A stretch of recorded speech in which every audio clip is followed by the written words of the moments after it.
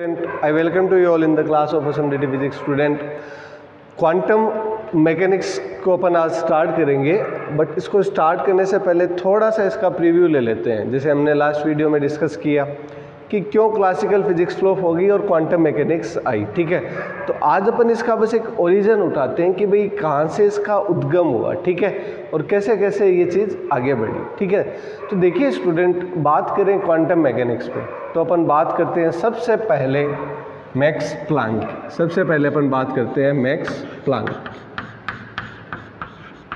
Student उन्होंने किया experiment जिसका नाम था black body radiation. Black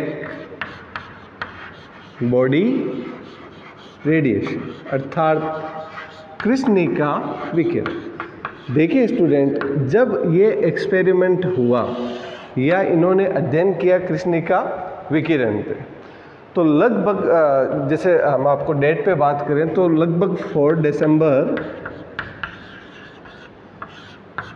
nine double zero अर्थात चार दिसंबर 1900 को उन्होंने एक अपना क्या किया? पेपर पब्लिश किया।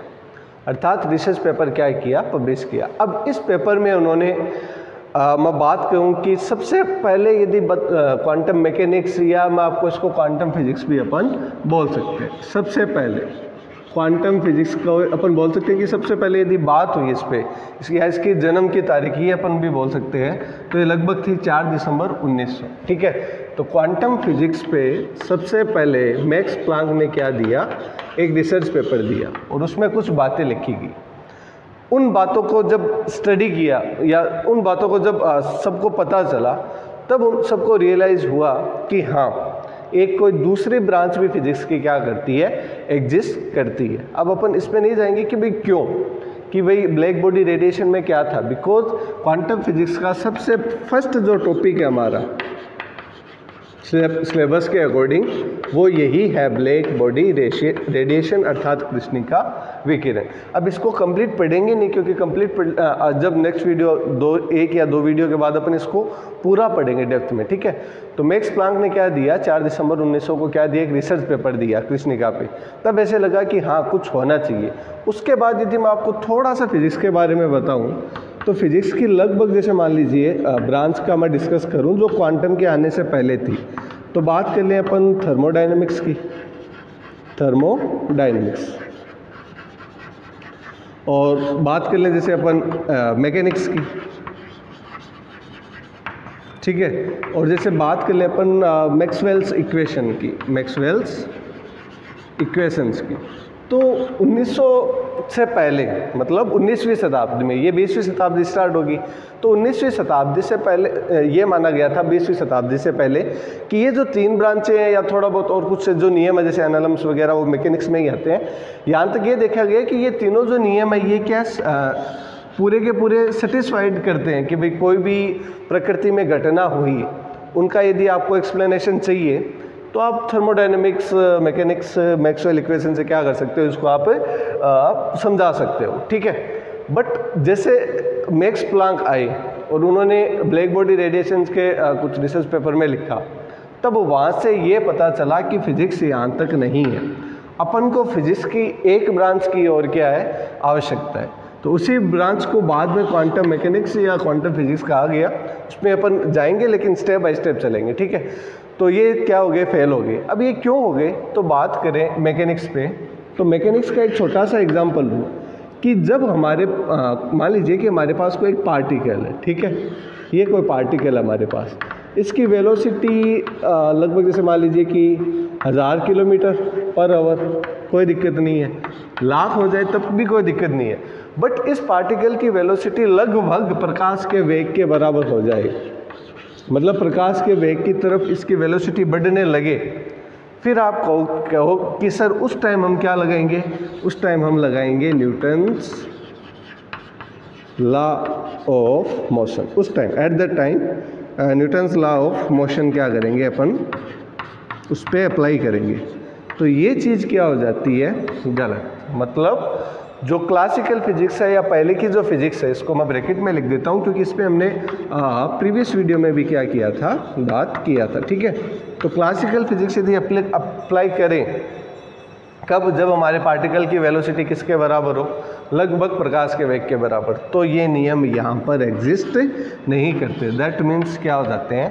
फेल हो जाते हैं। कुछ और भी जैसे बात करें ब्लैक बॉडी रेडिएशन की फ़ोटो इफ़ेक्ट की, उनके यदि एक्सप्लेनेशन की बात करें तो जो आपकी जो ब्रांचेज थी पुराने वाली, वो उनको कम्प्लीटली एक्सप्लेन नहीं कर पाए जैसे मान लीजिए कि मैं बात करूँ कुछ एटॉमिक की, ठीक है?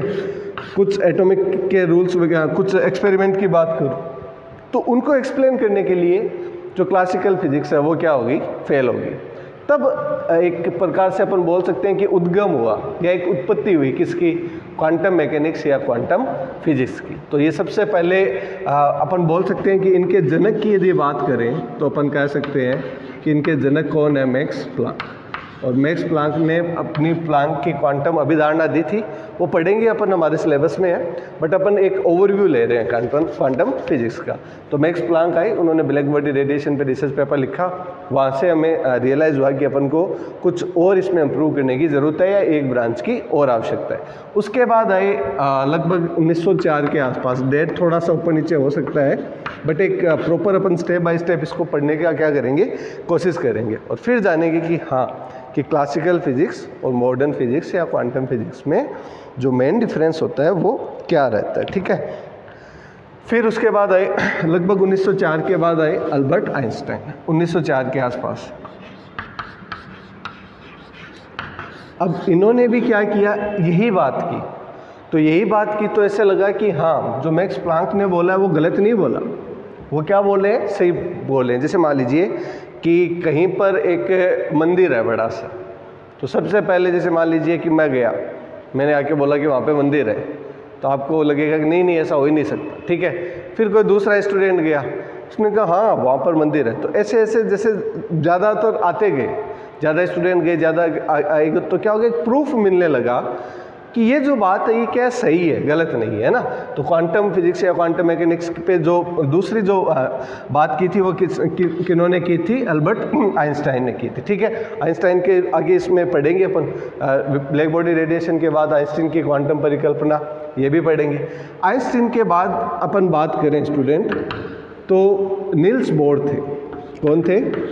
नील्स बोर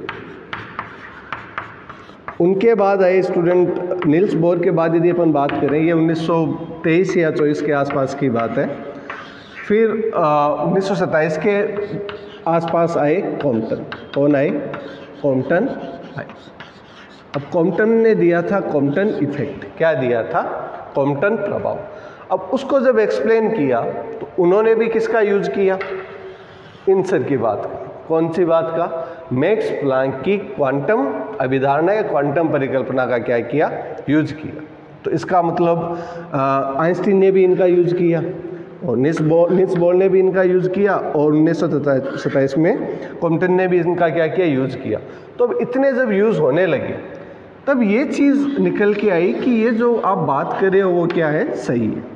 क्या है? सही है। इस पर क्या लग गया कि हाँ ऐसा कुछ होता ज़रूर है कि क्लासिकल फिजिक्स के अलावा हमें कुछ और भी सोचना होगा। अभी आपको ये लग रहा है कि सर आप बता रहे हो, लेकिन होता क्या है? तो जब अपन, जैसे अपन ब्लैक बॉडी रेडिएशन को स्टार्ट करेंगे ना, तब आपको धीरे धीरे रियलाइज़ होगा कि हाँ कि ये बात इन्होंने बोली थी और ये बात क्या है, सही है, ठीक है?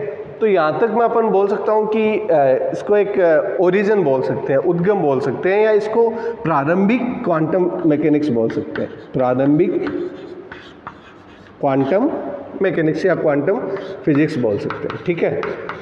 फिर आए दो वैज्ञानिक, जिन्होंने अलग अलग किया था काम। मतलब एक जैसे मान लीजिए कि कोई दुबई में कर रहा है, या कोई राजस्थान में कर रहा है, एक सुजानगढ़ में कर रहा है, या कोई लाडू में अलग अलग सेपरेट काम कर रहे हैं। बट इंडिविजुअली काम करते हुए भी वो काम कोई एक ही चीज़ पे कर रहे थे। उन दो वैज्ञानिकों के नाम थे, एक तो थे हाइजनबर्ग हाइजन बर्ग और एक थे हमारे स्ट्रोडिगर कौन थे?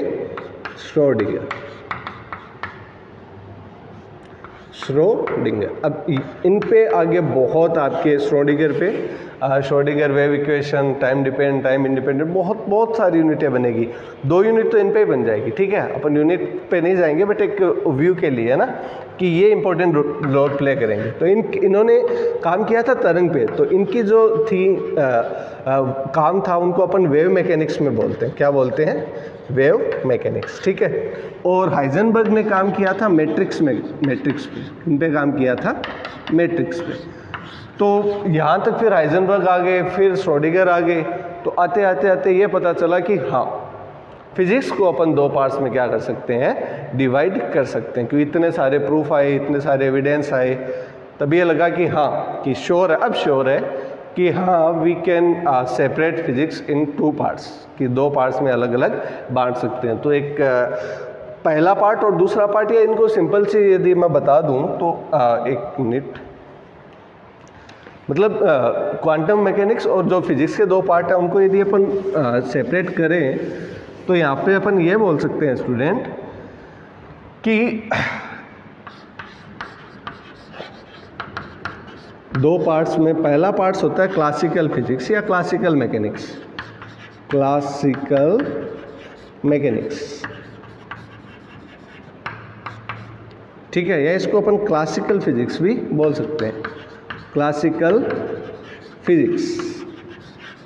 ठीक है? दूसरा जो पार्ट है, इसको अपन बोलते हैं कि modern quantum physics quantum physics या अपन इसको बोल सकते हैं क्वांटम मैकेनिक्स ये लीजिए। अब ये अपन बोल सकते हैं कि भाई, इसको एक डेट दे दें या इसको तारीख दे दें या इसको कोई टाइम पीरियड दे दें। तो अप टू 1900 अप टू 1900 अर्थात 1900 से पहले पहले की तो जो फिज़िक्स है ना, वो क्या कहलाएगी? क्लासिकल फिज़िक्स और उसके बाद की 1900 के बाद की जो फिज़िक्स है, वो क्या कहलाएगी? क्वांटम फिज़िक्स या क्वांटम मैकेनिक्स कहलाएगी। तो ये एक प्रीव्यू लिया हमने। एक छोटा सा इंट्रोडक्शन लिया कि हाँ क्वांटम फिजिक्स कहाँ से स्टार्ट हुई? क्या इसका इतिहास रहा? कैसे कैसे आ, कौन कौन बंदे आए जिन्होंने रोल प्ले किया? जैसे सबसे पहले मैक्स प्लांक आए आइंस्टीन सर आए नील्स बोर आए कॉम्पटन आए ठीक है? तो इन्होंने अपना क्या किया कि एक साहसिक विचार प्रस्तुत किया और एक नई ब्रांच को इन्वेट करने का क्या किया? एक प्रकार से बोल सकते हैं काम किया। उसके बाद वो काम आगे बढ़ता चला गया।